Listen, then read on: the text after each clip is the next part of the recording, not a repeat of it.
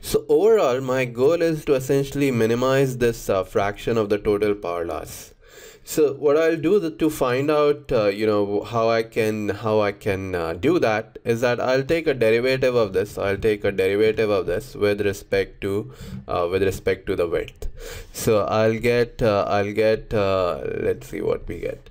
So I'll get a minus wd by w square term from this uh, first term over here.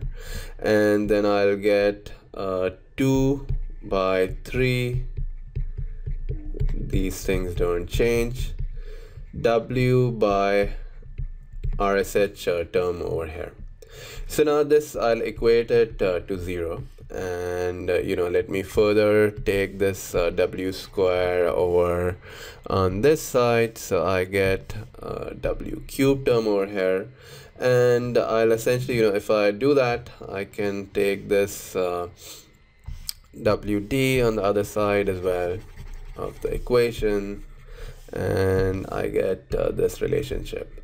So my width which gives me the minimum power loss or my optimum width I can essentially see from here that it would come out to be the cube of the optimum width is equal to 3 by 2 of my this will go to the other side. So this would be v by j.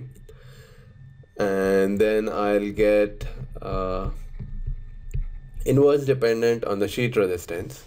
And then I'll essentially take a cube root on both sides. So that will give me the optimal width on the left side and that would make that would give me this relationship uh, in terms of my optimal width. So uh, now there's another wd term over here.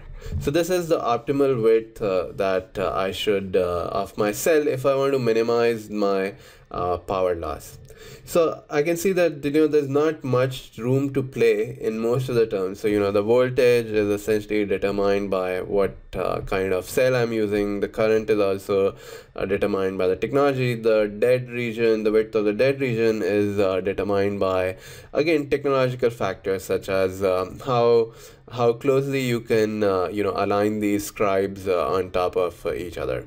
So the only you know the the only hope or you know the only lighting uh, you know my shining star essentially in this equation is my sheet resistance. So i have a inverse dependence on the sheet resistance and this term is saying that if i want to essentially increase this optimum width what i should do is essentially reduce my sheet resistance so again let me show you uh, this uh, this uh, in another uh, chart over here.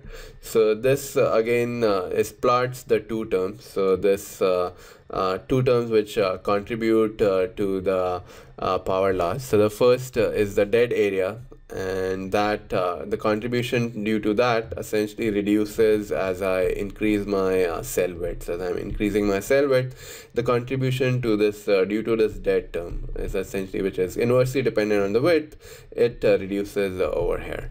Then I have the second term over here which is the I square R loss and uh, this is essentially as we discussed it's uh, proportional to the square of the width of the cell. So this term this I square R loss term it uh, increases as I essentially increase my uh, cell width. So of course I get uh, optimum over here and uh, so I get an optimum width which minimizes this uh, minimizes this uh, power loss.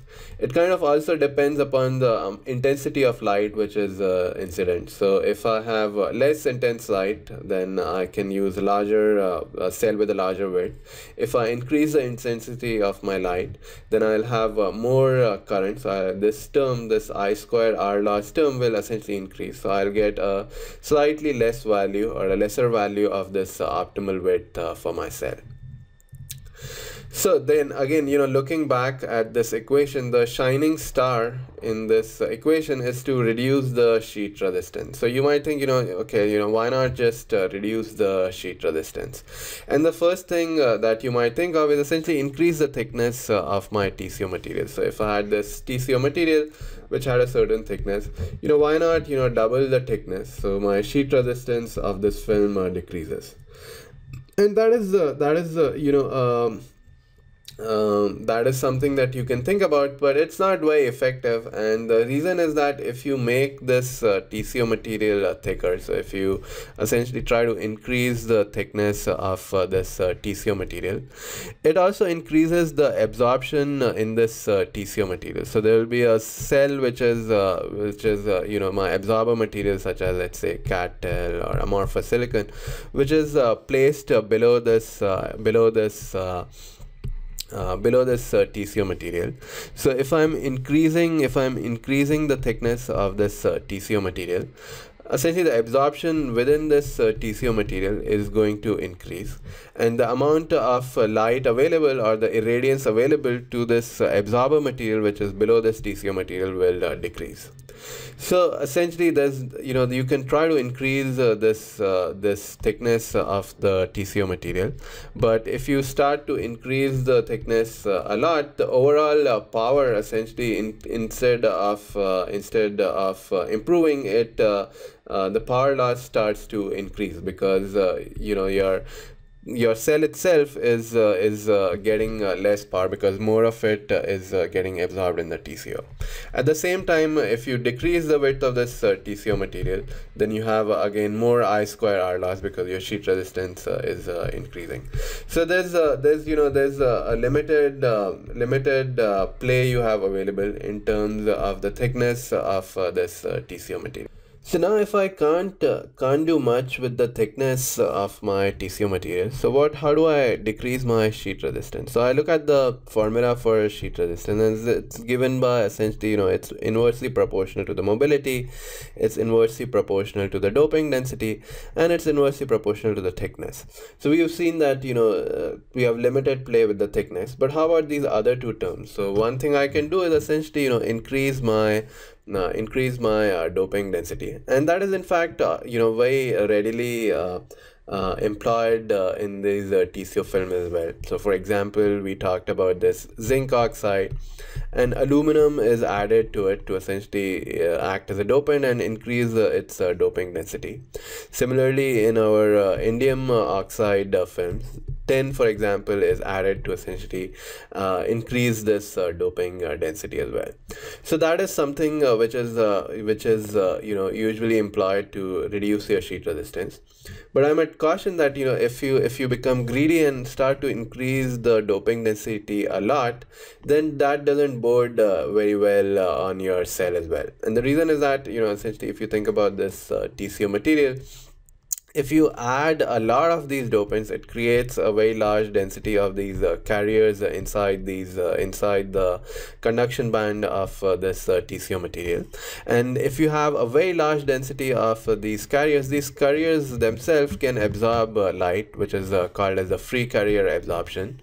And that especially happens in your in your larger longer wavelength light where they would essentially your absorption coefficient if you look over here it starts to uh, rise if I if I add uh, too much doping over here. So for example, this is a, a aluminum doped uh, zinc oxide, uh, and it's contrasted to undoped uh, do, undoped uh, zinc oxide over here. So for undoped zinc oxide, the absorption coefficient is essentially decreases as the um, as the wavelength of uh, my uh, light increases just like for you know for any normal oxide or any normal semiconductor material but if i add uh, a lot of uh, dopants in into my zinc oxide i see that uh, this absorption coefficient starts to especially for these uh, low wavelengths and the reason for that is this free carrier absorption so again the point I want to emphasize is that uh, we should look at all these terms in this uh, sheet resistance equation. So there's limited play in terms of thickness.